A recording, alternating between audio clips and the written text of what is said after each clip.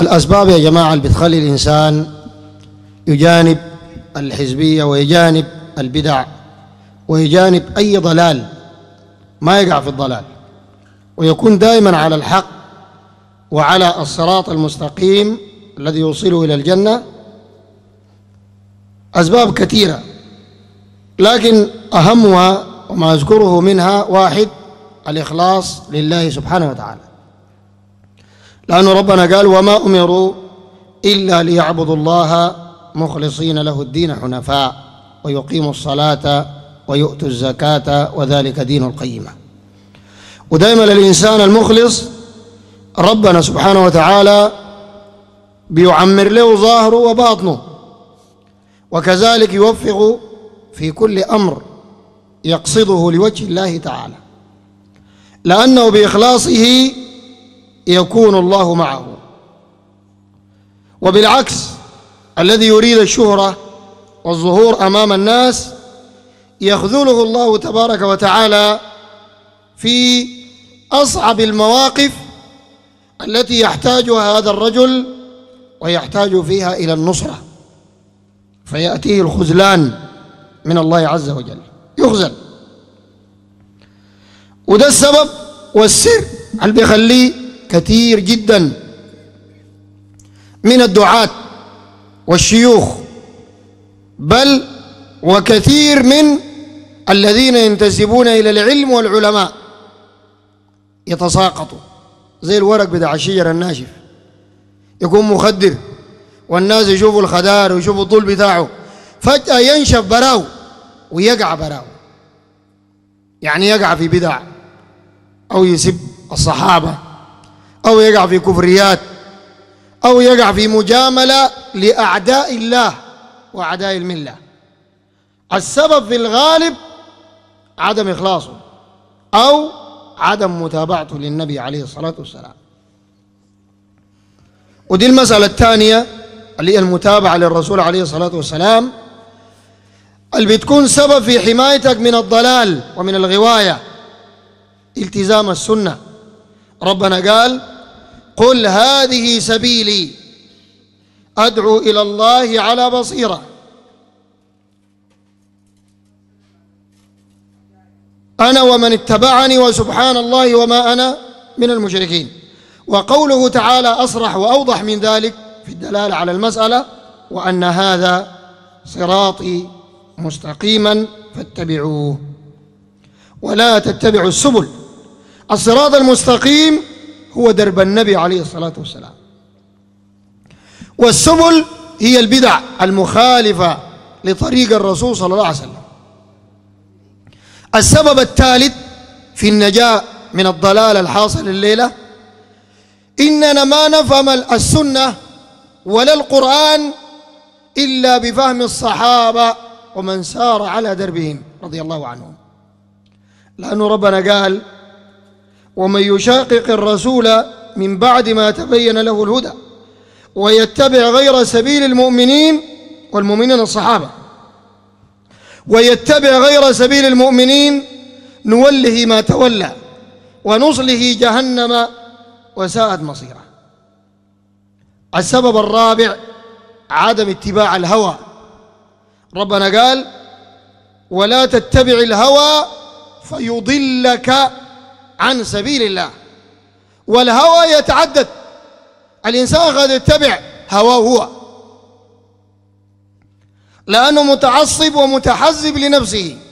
فالحزبية زي ما تكلموا الأخوان بتكون للجماعات قد تكون للأفراد بل قد تكون لشخصك أنت ده متحزب لرأيك. رأيك هو الصواب ورأي الآخرين كلهم. ولو أتى لو جابوا برأيهم وأدلة على رأيهم كل القرآن وكل السنة أراهم باطلة بس لأنه ده ما رأيك. عشان كده النبي عليه الصلاة والسلام أوصاهم لما رسلهم اثنين من الصحابة قال لهم تطاوعا ولا شنو؟ ولا تختلفا. فالدعوة كدعوة فيها التطاوع في المسائل التي ليس فيها نص واضح أو لم يعلموا فيها نصا واضحا. ده الأصل بنقول. وفيها الطاعة للدليل وليس الطاعة للشخص سواء كنت أنت أو كان شيخك أو كان رئيس جماعتك. زي ما هو حاصل الليلة.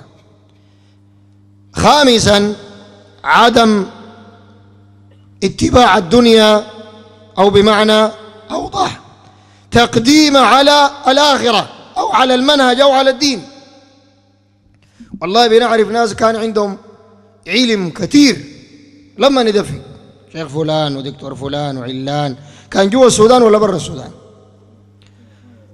وخالفوا الحق وضلوا وقعوا في البدعة ما بسبب جهل يا جماعة بسبب القروش والدنيا. خلي ذيك الحزبين. عشان نكون واضحين. أنا اللي قدامكم ده في مسجد في قرية من القرى في السودان آه طلب مني أرشح له إمام. أنا ده رشحت له إمام. حافظ لكتاب الله. خلينا من اسمه لأنه ما الهدف إنه هو في شخصه. الهدف العبرة والفائدة لنا ما نقع في مثل هذه الأخطاء ولا باطل. مشى قاعد وجيه له أموره. ما شاء الله وما شاء الله ما محتاج لأحد. وزول خطيب ومفوه وفصيح الشيطان فتح له باب التوسع في الرقية. بقنا النسوان داخلات المسجد. المسجد بتاع الرجال وطالعات مرة داخلة زي مستشفى النساء والتوليد. مرة مارقة. مرة داخلة مرة مارقة. والركشات واقفة برا. تشيله هو ذاته. بقى راقي دولي. محترف. فر يودوا الغري البيجاي والغري البيغادي والغري البيجاي. بعد شوية وصب وهم الحلة قال المطر ما جاء قال له قوم صلي صلاة الاستسقاء قال يا الله نزل المطر نزل المطر نزلت. افتكر نفسه ولي. أها بعد ذاك جاب شنو؟ شوف شوف البدعة جابها. بسبب الدنيا حجاته من الرقية دي ومن غيرها. واحد بقى يحكي قصص أقرب لطبقات والضيف الله بتاعت الصوفية. براو. قال أنا ما جيت لي شيخ؟ صوفي. وساحر. وراكب السرير. قال قلت له أه. قال وقع عشر دقائق في الوطن. أه بس. ده زولك ذاته. خليهم ذيك البعيدين الحزبيين. زولك ذاته. شيطان انت قايله بس شغال مع الحزبيين والصوفية؟ شغال معاك انت ذاتك تعذر من الكلام ده. عشان كده ربنا حذر الرسول يا جماعة من أخطاء ما وقع فيها النبي صلى الله عليه وسلم. لكن حذروا منا لأنه من باب أولى هي لنا وللأمة. فانت صاحب الخير لابد تحذر. والنبي صلى الله عليه وسلم كان من سنته إنه حتى لو واحد من الأفاضل أخطأ أحيانا يقول ما باله شنو؟ أقوام لكن يذكر الخطأ عشان الناس يجتنبوه. أنا بذكر لك الخطأ. قال قلت له آه. قال غمير وقع عشر دقائق بعد ذاك قال صحة قلت له ليه؟ وقعت كده. قال كان حواليني جن وشيطان. انت لما قلت آه الشياطين كلهم جروا. ده بيحكوا الزول المحسوب على السلفيه ده. بيحكي للناس عشان يلمع نفسه. جاء يوم الصباح الجامع قالوا ما تعبان. مسهر الليل يقول آه في شنو؟ قالوا كنت بشاكل مع جني. السبب شنو؟ السبب الدنيا يا جماعة. واحد قال هو براو بيحكي قال واحد جاب لي مرض وقال لي اقرأ لها فيها شيطان جوا. قال قريت مرق طوالي. فوق مرق قال قلت له لك انت اديني حق عمرة وكلمة نحوه قال ذاك اداني 2 مليون وابى يديني الباقي.